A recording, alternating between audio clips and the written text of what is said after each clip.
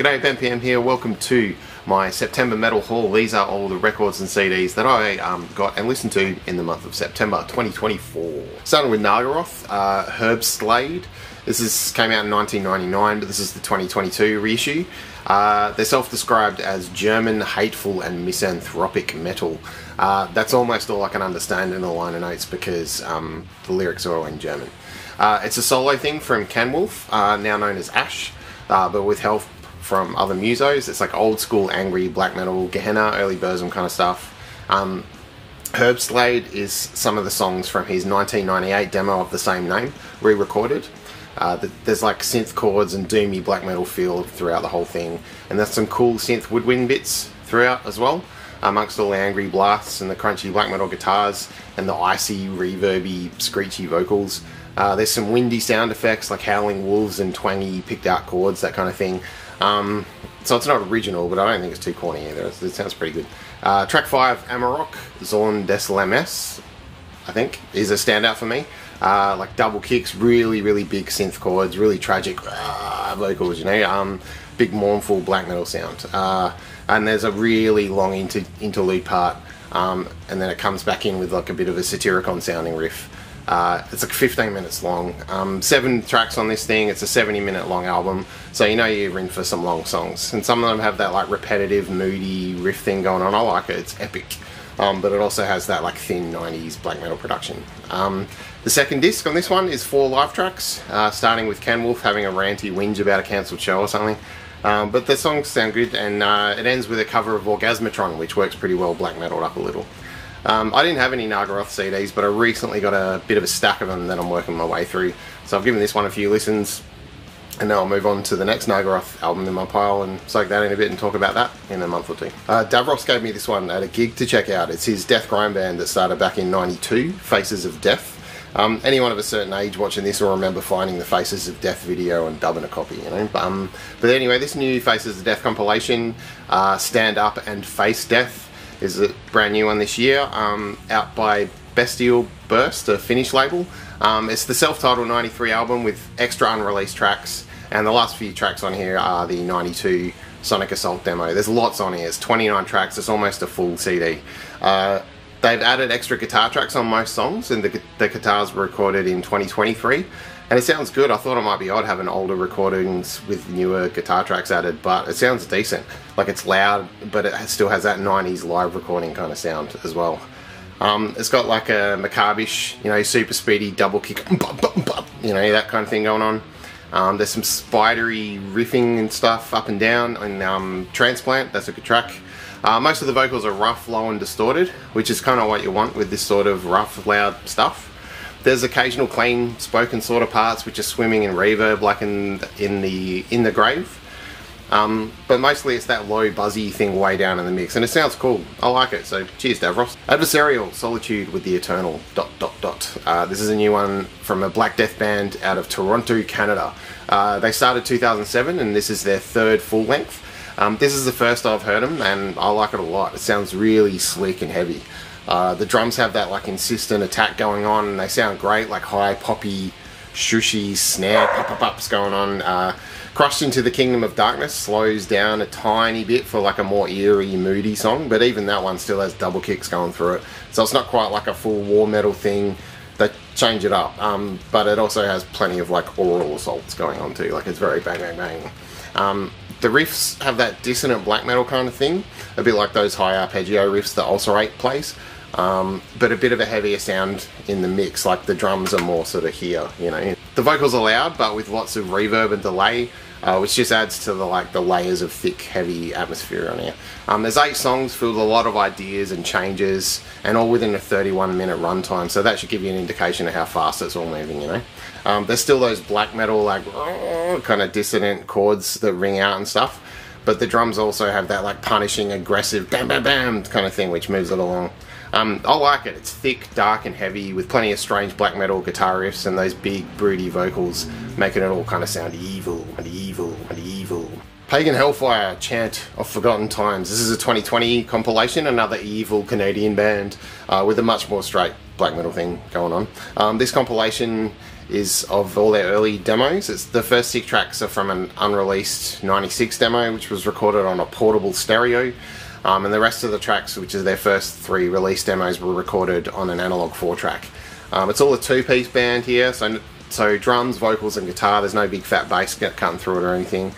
Um, it's almost two hours all up, two discs, um, but it's all pretty solid and what you'd expect if you've listened to any other Pagan Hellfire albums. Um, there's much more kind of tape and levels peaking a little and stuff, that demo sound, but it kind of suits this music anyway. Um, and it, it, doesn't sound bad, it's good. Uh, the recordings get better the deeper into the album you get, but it's never slick, it always has that kind of live, crunchy black metal sound, which is what you want. Uh, Proscriptor McGovern's Apsu. Uh, this is the 2021 album. Uh, it's Texan Black Thrash. There were Apsu, but a slight lineup change and name change, and now we got Proscriptor McGovern's Apsu. It still has that Absu sound, but feels a bit more intense, maybe. Like there's one high, ah, just in one song at the start of the coagulating respite, whereas in some of the earlier stuff you hear that more frequently.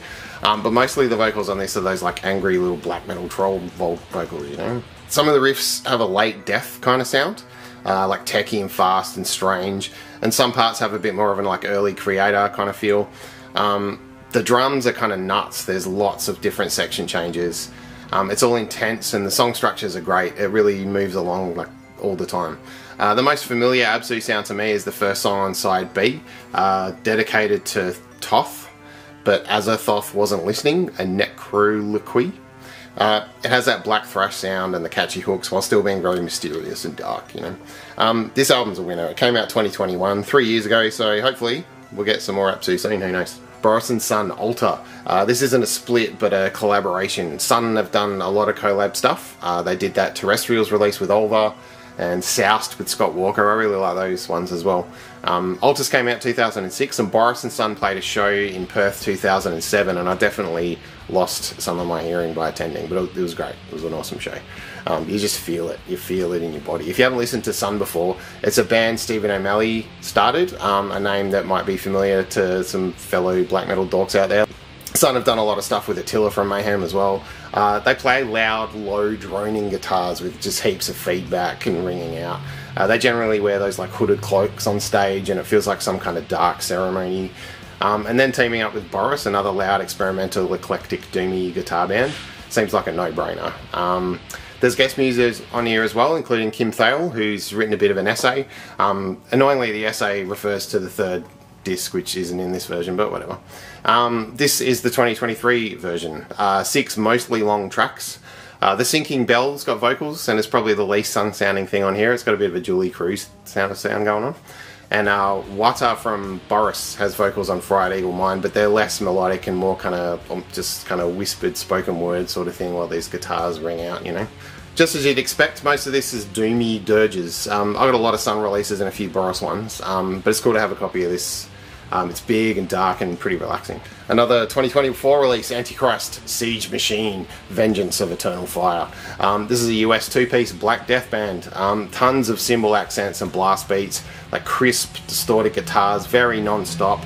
Uh, there's no bass guitar on here, just guitars and vocals and drums, but it certainly sounds full. Um, part of me would love to hear it with bass as well, but at least you, you know it's going to reflect more what they're doing on stage, I guess. Um, it's still a big sound too. Uh, it's angry war metal, like Bestial Warlust kind of energy, but a little slicker and with some grind elements occasionally. Um, there's some death metal, like moshy parts, like Vanquishing Spirit, but uh, mostly it's that Black Death War circle blip, blah, chaos, you know. Uh, the longest song on, here is just over three minutes. Most of them are around two minutes. There's no mucking around. They're just like, boom, let's go. Um, so yeah, this is killer. Sadist Fire Scorched. This is a 2022 release for the Italian progressive death metal band. Uh, they've been around a long time, and this is their most recent album, their ninth.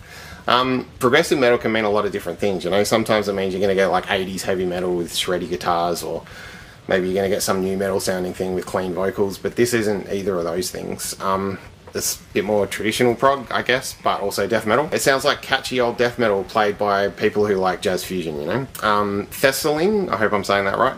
He's on bass here. Um, he used to play with Obscura and Pestilence, um, and now he's on here with, uh, yeah, fretless bass, and he kind of sounds like Pastorius, like Weather Report Pastorius.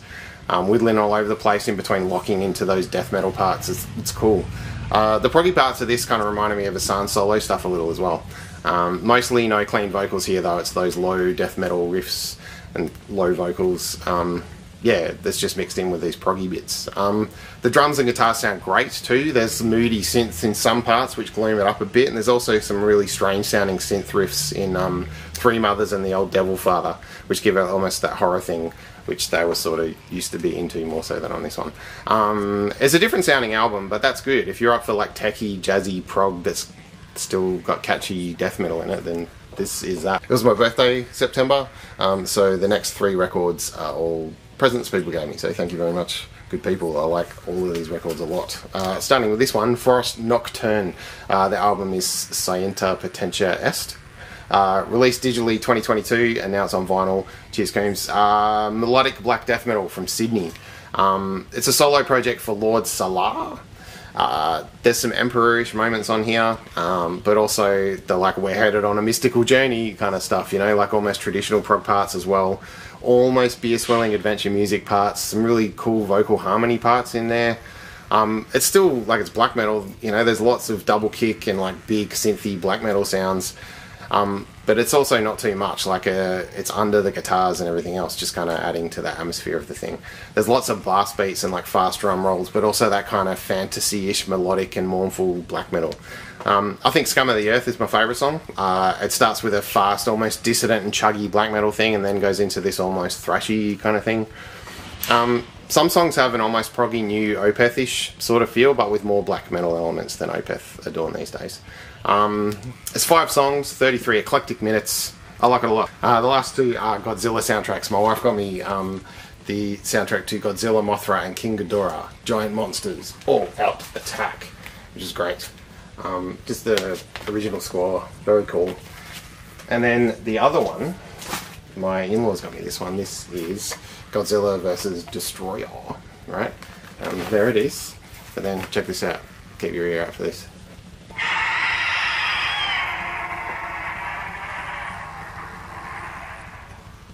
Pretty cool. I like how long it goes for. It's neat. Um, so yeah, two amazing soundtracks um, that sound exactly like you would expect. Big orchestral, boom, boom, boom, boom, all that stuff. It's, it's great. They sound awesome. Um, so yeah, that's what I've been listening to in September. What have you been listening to, dear viewer? Um, please let me know in the comments. Um, I'm always up for recommendations and that kind of thing. And uh, yeah, cheers for watching. Subscribe for more metal.